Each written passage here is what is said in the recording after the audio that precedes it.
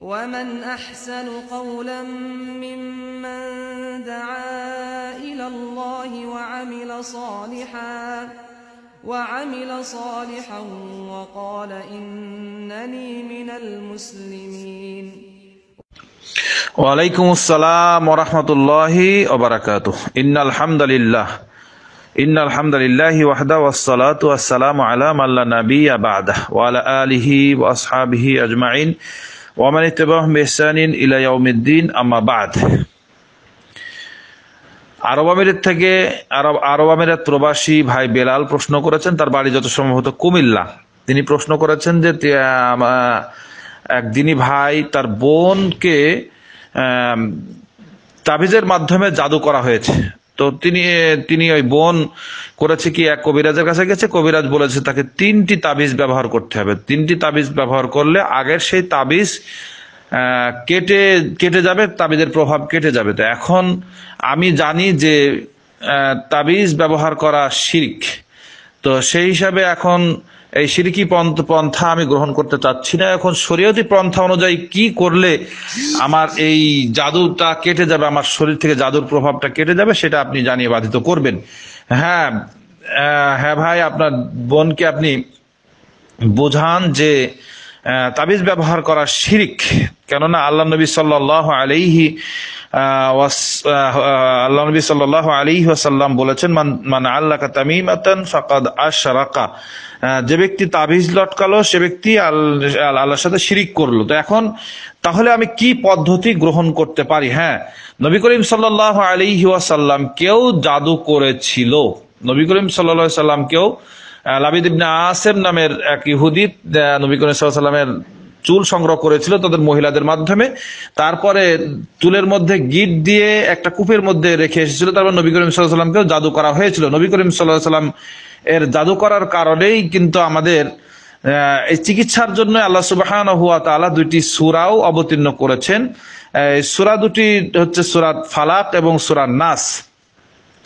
সুরা সুরা ফালাক এবং সুরা নাস বেশি বেশি পাঠ করবেন বা প্রত্যেক ফরজ সলাতের পরে একবার একবার করে মাগরিবের পরে তিনবার এবং ফজরের পরে তিনবার পাঠ করবেন। সাথে সাথে আরেকটি বারও পাঠ করার কথা হাদিস এসেছে যে হাদিসটি বুখারিতে বুখারিতে এসেছে, বুখারির হাদিস নম্বর পাঁচ হাজার সাতশত আটচল্লিশ নম্বর হাদিস, যেটা আইসারদ আনহা থেকে বর্ণিত বর্ণনা করেছেন নবী করিম সাল্লাহ আলী আসাল্লাম যখন বিছানায় আসতেন, তখন আপন দুই হাতের তালুতে উলহু আল্লাহ ওয়াহাদ এবং সুরা নাস ও সুরা ফালাক পরে দম করতেন, অর্থাৎ ঝাফুক দিতেন।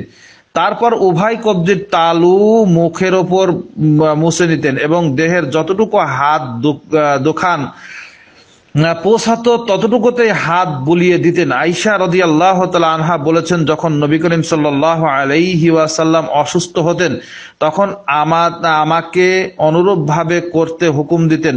আবারও খেয়াল করেন যে আইসা রদুল্লাহ তালা আনহা বলছেন যে, নবী করিম সাল্লাহ আলাইহি ওয়াসাল্লাম কি করতেন? যখন আমরা অসুস্থ হতাম তখন কি কি করতেন? তখন আমাকে অনুরূপ ভাবে করতে হুকুম দিতেন। ইউনুস ইউনুস বলেছেন যে ইবনে শিহাব যখন তার বিছানায় যেতেন তখন তাকে অনুরূপ করতে আমি দেখতাম। বুখারি হাদিস আহ, বুখারির হাদিস নম্বর তো আগেই বলেছি। তো এই হচ্ছে মূল চিকিৎসা। এখন কথা হচ্ছে যে আল্লাহ নবী সাল্লা সাল্লাম অনেক এক হাদিসেও বলেছেন যে ঝাড়ফুঁক করাও নাকি না যায় হ্যাঁ একটি হাদিস এসেছে নবী করিম সাল্লাহ আলাইহি ওয়াসাল্লাম বলেছেন, ইন্নার রোকা ও তামাইম তেওয়ালা শিরকুন। নিশ্চয় ঝাড়ফুঁক, তাবিজ এবং ভালোবাসা সৃষ্টি করার জন্য জন্য যে কৌশল অবলম্বন করা, এগুলো সব শিরিক। হাদিসটি এসেছে আবু দাউদ সনদ হাসান মিশকাতের হাদিস নম্বর চার হাজার পাঁচশত বান্ন নম্বর হাদিস। তো চিকিৎসা ঝাড়ফুঁক অধ্যায় হাদিসটি এসেছে। তো হ্যাঁ ঝাড়ফুঁক নিঃসন্দেহে ঝাড়ফুঁক নিঃসন্দেহে তাবিজ নিঃসন্দেহ কবুল অর্থাৎ মহব্বত তৈরি করার জন্য যেগুলো দেওয়া হয়, এগুলো শিরিক। হ্যাঁ এখন ঝাড়ফুঁক করার জায়েজি পদ্ধতি আছে। নবী করিম সাল্লাহ আলী এবং কোরআন এবং সুন্না অনুযায়ী যতগুলো ঝাড়ফুঁক আছে, তো তিন ধরনের ঝাড়ফুঁক ইসলামে জায়েজ। তিন ধরনের ঝাড়ফুঁক এক কোরআনের আয়াত দিয়ে ঝাড়ফুঁক সুরা ফাতিহা দিয়ে ঝাড়ফুঁক করতে করা জায়েজ আছে। কেননা নবী করিম সাল্লাহ সাল্লাম সুরা ফাতিহাকে সর্বরোগের ঔষধ বলেছেন সর্বরোগের শিফা বলেছেন। সুরা ফাতিহা দিয়ে আপনি ঝাড়ফুঁক করেন সুরা নাস ফালাক দিয়ে ঝাড়ফুঁক করেন ইখলাস দিয়ে ঝাড়ফুঁক করেন সুরা কাফিরুন দিয়ে ঝাড়ফুঁক করেন সুরা বাকারা শেষ দুই আয়াত দিয়ে ঝাড়ফুঁক করেন। তারপরে আয়তাল আহ, সকাল সন্ধ্যা পাঁচক্ত সালাদের মধ্যে পড়েন। তো এই রাত্রে আপনি সুরা বাকারা শেষ দুই আয়াত পড়েন বা সুরা কোরআনের যে কোনো সুরা দিয়ে যে কোনো আয়াত দিয়ে আপনি ঝাড়ফুঁক করতে পারবেন। সুরা বাকারার প্রথম দিকে পড়ে আপনি আপনার বোনকে ঝাড়ফুঁক করেন এগুলো জায়েজ। আর এক ধরনের ঝাড়ফুঁক জায়েজ যেগুলো আপনি চিকিৎসা করতে পারেন সেটা হচ্ছে আল্লাহ সুবাহান হুয়া তালার অনেক সুন্দর সুন্দর সুন্দর নাম আছে। আহ, নবী করিম সাল্লাহ আলাইহি ওয়াস সাল্লাম বলেছেন যে আল্লাহ সুবাহান হুয়া তালার সুন্দর সুন্দর অনেকগুলো নাম আছে। সুন্দর সুন্দর অনেকগুলো নাম আছে। এই সুন্দর সুন্দর নামগুলোর সংখ্যা বলেছেন আল্লাহ রব্বুল আলমিন সুরা আল আরাফের একশো আশি নম্বর আয়াতে বলেছেন আলিল্লাহিল আসমা উল হুসনা ফাদরুহু বিহা তা আল্লাহ রব্বুল আলমিন বলেছেন, আর আল্লাহর অসংখ্য সুন্দর সুন্দর ভালো নাম রয়েছে। সুতরাং তোমরা তাকে সেসব নামেই ডাকবে। তো আল্লাহ সুবাহ সুন্দর সুন্দর নামগুলো ডাকবে। নামগুলো কি কি? আবু হরারু বর্ণনা করেছেন, আল্লাহ আল্লাহ তালার নিরানব্বইটা নাম আছে। অর্থাৎ এক কম একশতটা যে ব্যক্তি এই নামগুলো মুখস্থ করবে, অর্থাৎ মান হাফাদাহা দাখালাল জান্না সে ব্যক্তি জান্নাতে যাবে। আল্লাহর বেজো, আল্লাহ বেজোর, আল্লাহ ভিতর নিহিবুল ভিতর আল্লাহ রাব্বুল আলামিন নিজে বেজোর এবং বেজোরকে তিনি পছন্দ করেন। বা এই হাদিসটা বুখারীর, বুখারীতে এসেছে, বুখারীর হাদিস নম্বর ছয় হাজার চারশত দশ নম্বর হাদিস। তাহলে আপনি ভাই আল্লাহ সুবাহান হুয়া তালার নাম সমূহ দিয়ে ঝাড়ফুঁক করতে পারবেন। নবী করিম সাল্লা সাল্লাম যখন খুব টেনশনে পড়তেন, বিপদ আপদের মধ্যে পড়তেন, তখন তখন তিনি বলতেন, ইয়া হাইয়ু ইয়া কাইয়ুম বিরাহমাতিকে আস্তাগিস। ইয়া হাইয়ু ইয়া কাইয়ুম বিরাহমাতিকে আস্তাগিস। ইয়া হাইয়ু ইয়া কাইয়ুম বিরাহমাতিকে আস্তাগিস। হে চিরঞ্জীব, হে চিরস্থায়ী হে চিরস্থায়ী, হে চিরঞ্জীব, বিরাহমাতিকে আস্তাগিস তোমার রহমত দিয়ে আমার রহমতের মাধ্যমে আমি সাহায্য প্রার্থনা করছি। এরকম নবী করিম সাল্লাহ সাল্লাম নিজে দোয়া করতেন। আপনিও ইনশাআল্লাহ নবী করিম সাল্লাহ আলাইহি ওয়াসাল্লামের এই শিখানো দোয়াতে আপনি দোয়া করবেন। নবী করিম সাল্লাহ সাল্লাম আল্লাহর নাম ধরে দোয়া করতেন। আপনি বলেন আল্লাহ তোমার নাম রাজ্জাক, তুমি রাজ্জাক নামান ওসিলায় আমাকে রিজিক দাও।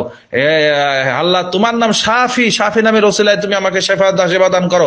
সাফি নামের ওসিলায় তুমি আমাকে আমার এই রোগটা তুমি মুক্ত করে দাও। ইয়া মুমিন, তুমি নিরাপত্তা দাতা তুমি নিরাপত্তা দাতা তোমার নিরাপত্তা দাতার নামের ওসিলায় তুমি আমাকে কি করো?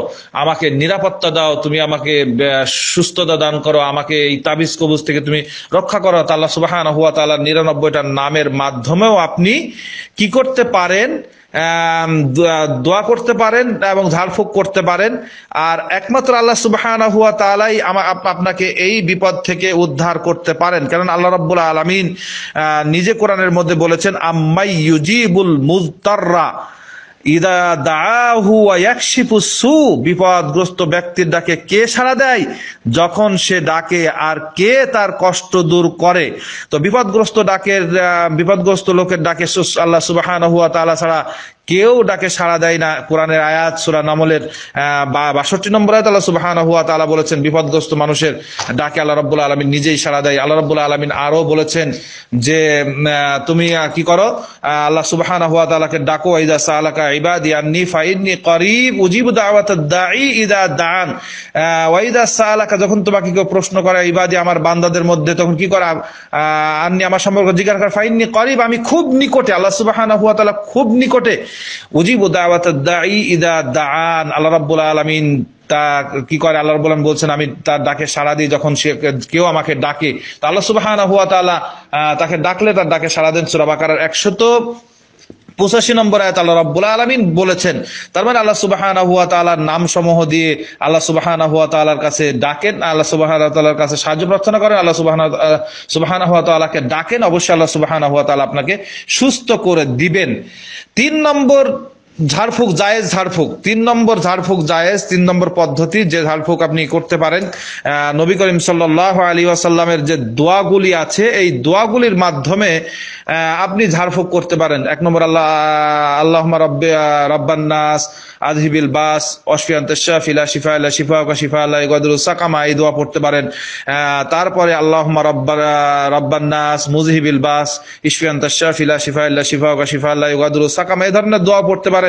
নবী করিম সাল্লাহ আলিহি ওয়াসাল্লাম নবী করিম সাল্লাহ সাল্লাম সাদ ইবনে আবি ওয়াক্কাস রাদিয়াল্লাহু তাআলা অসুস্থ হলে তিনি বললেন আমি অসুস্থ। নবী করিম ওয়াসাল্লাম তাকে সরাসরি দোয়া করলেন আল্লাহ মাশফি সাহাদান আল্লাহ মাশফি সাহাদান আল্লাহ মাশফি সাহাদান আল্লাহ আল্লাহ তুমি সাদকে সুস্থ করে দাও সাদকে সুস্থ করে দাও সাদকে সুস্থ করে দাও। রাহু মুসলিম। মুসলিম শরীফের হাদিসে এসেছে নবী করিম সাল্লাল্লাহু আলাইহি ওয়াসাল্লাম এভাবেও তিনি দোয়া করেছেন। তো আরও আহ, দোয়া নবী করিম সাল্লাহ সাল্লাম করেছেন যেমন নবী করিম সাল্লাহ সাল্লাম বলেছেন, কারোর কোনো জায়গায় যদি ব্যথা অনুভব হয়, আব্দুল ইবনে আবু আব্দুল্লাহ উসমান ইবনে আবুল আস রদি আল্লাহ নিকট এই নিকট ওই ব্যথার অভিযোগ করলেন যা তিনি তার দেহে অনুভব করছিলেন। অতপর রসুল সাল্লাহ সাল্লাম তাকে বললেন, তুমি তোমার দেহের ব্যথিত স্থানে হাত রেখে তিনবার বিসমিল্লা বলো। তা ব্যথা স্থানে নবী তিনবার রেখে বিসমিল্লা বল- বলতে হবে। ব্যথা স্থানে হাত রেখে তিনবার বিসমিল্লা বলতে হবে এবং তারপরে নবী করিম সাল্লা সাল্লাম বললেন যে সাতবার বলো। সাতবার কি দোয়া বলবে? তারপরে সাতবার বলতে বললেন শাররি মা আজিদু রহ মুসলিম মুসলিম শরীফের হাদিসে এসেছে, নবী করিম সাল্লাম সাতবার এই দোয়া তিনি পড়তে বললেন সাতবার মুসলিম শরীফের হাদিস মুসলিম শরীফের হাদিস নম্বর দুই হাজার দুইশত দুই নম্বর হাদিস তিরমিজিতে এসেছে হাদিসটি হাদিসটি হাদিস নম্বর দুই হাজার আশি নম্বর হাদিস আবু দাউদে এসেছে তিন হাজার আটশত একানব্বই নম্বর হাদিস ইবনে- তিন হাজার পাঁচশত বাইশ নম্বর হাদিস। এই হাদিস এই হাদিসে আপনি এই দোয়া পড়তে পারেন। নবী করিম সাল্লাহ সাল্লাম কোনো ব্যথা স্থান হলে এই দোয়া তিনি পড়তে বলেছেন আহ, একবার কোনো ব্যথা স্থানে হাত বুলিয়ে এবং সাতবার এই দোয়া পড়তে হবে। আউযু এইভাবে ধারফুক করাও জায়েজ। নবী করিম আরেকটি হাদিস এসেছে। নবী করিম সাল্লাম বলছেন আদা মারিদান লাম ইয়াহদুরুহু আব্বাস বর্ণনা বলেছেন, যে ব্যক্তি এমন কোন রুগ্ন মানুষকে মানুষকে সাক্ষাৎ করবে যখন, যার এখন মারা যাওয়ার মারা মরার সময় উপস্থিত হয়নি অর্থাৎ তার মারা যাওয়ার সময় হয়নি। তার মারা মরার এখন মাররাতিন। আহ, তারপরে নবী করিম সাল্লাল্লাহু আলাইহি ওয়াসাল্লাম সাতবার এই দোয়াটি বলবেন। নবী করিম বললেন সাতবার এই দোয়াটি বলবেন। কি দোয়াটি? আসআলুল্লাহ আযীম রব্বাল আরশিল আযীম আইয়াশফিয়াক। এই দোয়াটি সাতবার বলবেন সাতবার। মহারসের প্রভুর নিকট তোমার আরোগ্য প্রার্থনা করছি। আল্লাহ তাকে সেই রোগ থেকে মুক্ত দান করবেন। তো এই দোয়াটি সাতবার যদি কারোর সামনে বলা হয়, নবী করিম সাল্লাম বলছেন, ইল্লা আফাহুল্লাহু মিন দালিকাল মারদ। আল্লাহ রাব্বুল আলামিন কি করবেন? আল্লাহ তাকে সেই রোগ থেকে মুক্তি দান করবেন। হাদিসটি মুসলিম আবু দাউদ, তিরমিজি হাসান সূত্রে এসেছে তারপরে মুস্তাদরাক আল হাকিমে এসেছে, বুখারির স্বার্থে এই হাদিসটি বুখারির স্বার্থে সই সূত্রে হাদিসটি বর্ণিত হয়েছে বর্ণিত হয়েছে আবুদাবুদের হাদিস নম্বর তিন হাজার একশত ছয় নম্বর হাদিস, তিরমিজিতে এসেছে তিন হাজার তিন হাজার তিরাশি নম্বর হাদিস। তো আপনি এই দোয়াগুলো পড়ে আপনি ঝাড়ফুঁক করতে পারেন। তারপরে নবী করিম সাল্লাহ সাল্লাম একদিন অসুস্থ হয়ে পড়লেন। হাদিসটি বর্ণনা করেছেন, আন আবি সাইদিনিল খুদরি রদি আল্লাহ আনহু। আবু সাইদ খুদরি রদি আল্লাহ আনহু হাদিসটি বর্ণনা করেছেন, আন্না জিবরিল আতান নবী সাল্লাল্লাহু আলাইহি ওয়াসাল্লাম। জিবরিল আলাইহিস সালাম নবী করিম সাল্লাহ ওয়াসাল্লামের কাছে একদিন আসলেন, ফাকালা, তারপরে তিনি বললেন, ইয়া মোহাম্মদ, ইশ তা কাইতা হে মোহাম্মদ, আপনি হয়তো অসুস্থ। নবী করিম সাল্লাম বললেন, ক্বালা, নাম। নবী করিম সাল্লাম বললেন হ্যাঁ অসুস্থ। ক্বালা, জিবরিল জিবরিল আলাইহিস সালাম বললেন, বিসমিল্লাহি আরকিকা মিন কুল্লি শাইইন ইউযিকা মিন শাররি কুল্লি নাফসিন আইনিন হাসিদিন। আল্লাহু ইয়াশফিক বিসমিল্লাহি আরকিকা। জিবরিল আলাইহিস সালাম দোয়া করছেন নবী করিম আলাইহি সাল্লাম অসুস্থতার জন্য। কে দোয়া করছেন? ফেরেস্তাদের সর্দার কাকে দোয়া করছেন?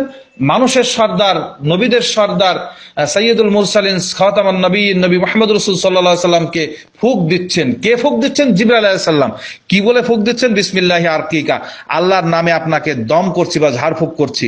মিঙ্কুল্লি শাইন ইউদিকা যে আল্লাহ সুবাহান হুয়া তালা প্রত্যেকটি কষ্টদায়ক জিনিস থেকে আপনাকে দূর করুক। মিংসারি কুল্লি নাফসিনা আইনিন হাসিদিন। প্রত্যেকটি খারাপ অন্তর, খারাপ মানুষ থেকে আইনিন হাসিদিন হিংসাত্মক চোখ হতে আল্লাহ আসফিক আল্লাহ আপনাকে শিফাদান করুক। বিসমিল্লাহি আরকিক। আল্লাহর নামে আপনাকে আবার দম করছি। রহ রহ মুসলিম। হাদিসটি মুসলিম শরীফে মুসলিমে বর্ণনা করেছেন। সেই হাদিসটি মুসলিম শরীফে এসেছে হাদিসটি বুখারিতেও আছে সৈয়দ বুখারির হাদিস নম্বর আটশত বিরানব্বই, হাদিস মুসলিমের হাদিস নম্বর দুই হাজার একশত ছিয়াশি নম্বর হাদিস। ইবনে মাজার মাজাতেও হাদিসটি এসেছে ইবনে মাজার হাদিস নম্বর তিন হাজার পাঁচশত তেইশ নম্বর হাদিস আর মুসনাদ আহমদে এসেছে, হাদিস নম্বর এগারো শত এগারো হাজার একশত চল্লিশ নম্বর হাদিস এগারো শত তিনশত তেরো নম্বরে হাদিস হাদিসেও এসেছে মুস্তাদ আহমদ। তো এই হাদিস, এই দোয়াটি আপনি নবী করিম সাল্লাহ সাল্লামকে জিবরাল সাল্লাম ঝাড়ফুঁক করলেন, তা ভালো হয়েছে। আপনিও আপনার বোনকে বা যে যে বোন প্রশ্ন করে তাকে কেউ ঝাড়ফুঁক করতে পারেন, এতে কোনো সমস্যা নাই। তাহলে বৈধ ঝাড়ফুঁক হচ্ছে পদ্ধতি হচ্ছে তিনটি। এক নম্বর, কোরআনের যে কোনো আয়াত দিয়ে সোরা নাসপালা সুরা ফাতেহা, বিভিন্ন আয়াত দিয়ে ঝাড়ফুঁক করা। দুই নম্বর, আল্লাহ সুবাহান তাআলার যে নাম সমূহ আছে নাম সমূহ দিয়ে ঝাড়ফুঁক করা। তিন নম্বর হচ্ছে নবী করিম সাল্লাহ সাল্লামের পাঠিত দোয়া আছে, এই দোয়াগুলোর মাধ্যমে ঝাড়ফুঁক করা। আবি রাজু আনহু বলছেন যে, নবী করিম সাল্লাহ সাল্লাম আমি এসে বললাম যে রাত্রি আমাকে একটা বিচ্ছুতে কামড় দিয়েছিল। তো বিচ্ছুতে কামড় দিয়েছে, আমি খুব কষ্ট পেয়েছি। নবী করিম সাল্লাহ সাল্লাম বললেন যে, তুমি যদি রাত্রিতে বলতে আউযুবি কালিমাতিল্লাহ মা তুমি ইশার খালাক, লাম ইয়াদুররুক। তাহলে এই দোয়া পড়লে তোমাকে কে কষ্ট দিতে পারতো না।